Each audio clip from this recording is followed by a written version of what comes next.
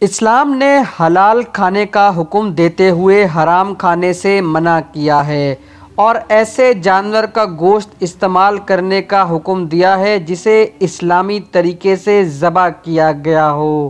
غیر مسلم نہ صرف حرام گوشت استعمال کرتے ہیں، بلکہ اسلام کے اس حکم سے متعلق مچھلی کی مثال پیش کرتے ہوئے یہ سوال بھی اٹھاتے ہیں کہ اسے ذبح نہیں کیا جاتا تو پھر یہ کیسے حلال ہو گئی؟ تاہم، اب سائنس نے اس سوال کا جواب دے دیا ہے اور ایسا حیران کن انکشاف کیا ہے کہ آپ بھی بے اختیار سبحان اللہ کہہ اٹھیں گے۔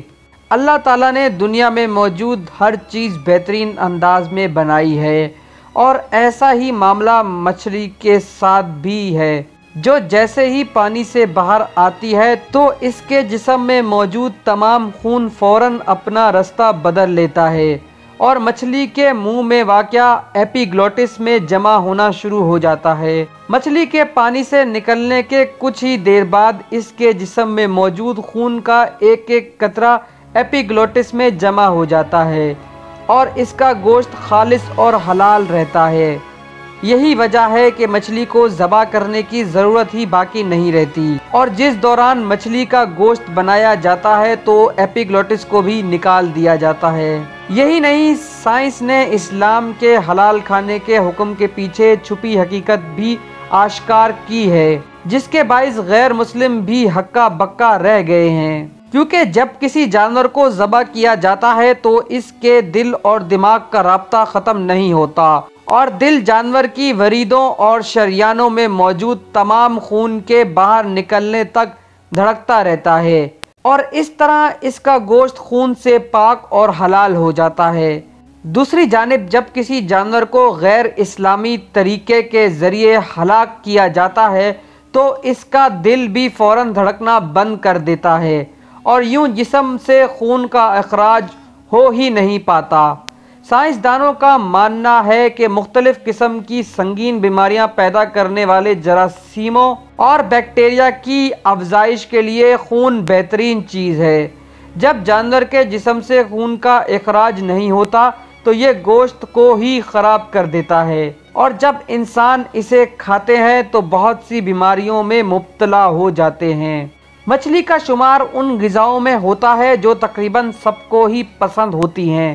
آپ چاہے اسے تل کر کھائیں، سالن بنائیں یا کسی اور شکل میں۔ مچھلی کا گوشت بہت مزیدار اور صحت کے لیے متعدد فوائد کا حامل ہوتا ہے۔ مچھلی تازہ ہو تو اسے کھانے میں سب سے زیادہ مزہ آتا ہے۔ لیکن جب خریداری کے لیے جایا جائے تو یہ کیسے معلوم ہو کہ وہ کھانے کے لیے بہتر اور تازہ ہے؟ آسان الفاظ میں کہا جائے تو یہ کام اتنا مشکل بھی نہیں ہے جتنا ہم سمجھتے ہیں۔ سب سے پہلے تو بو کو چیک کرنا چاہیے۔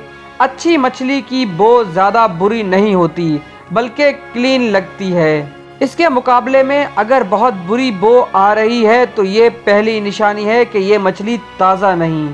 اگر بو سے پہچاننا مشکل ہو رہا ہے تو آنکھوں کو دیکھیں۔ تازہ مچھلی کی آنکھیں کلیئر، چمکدار اور پوری ہوتی ہیں۔ جبکہ ان میں دھندلاپن اس چیز کی علامت ہے کہ اسے وہاں رکھے بہت دیر ہو چکی ہے۔ اسی طرح مچھلی کی جلد کو دیکھیں۔ مچھلی جتنی تازہ ہوگی، جلد اتنی ہی چمکدار ہوگی۔ اگر وہ مدم ہو تو اسے باسی سمجھا جا سکتا ہے۔ اس کے علاوہ مچھلی کو چھو کر دیکھیں۔ اگر گوشت اچھا اور سخت ہوگا تو سمجھ جائیں یہ تازہ ہے۔ ورنہ نرم یا پلپلا ہو تو مچھلی تازہ نہیں ہوگی۔ مچھلی کے کلپڑے صاف اور شوخ سرخ رنگ کے ہونے چاہیے۔ اس کی عمر بڑھنے سے کلپڑے کا رنگ مدم اور برا ہونے لگتا ہے، جبکہ ان میں بو واضح علامت ہے کہ یہ مچھلی کھانے کے لائق نہیں۔ تو دوستوں یہ تھی ہماری آج کی ویڈیو۔ مزید اس جیسی علمی ویڈیوز دیکھنے کے لیے کر لیں ہمارا چینل علم کی لائبریری سبسکرائب۔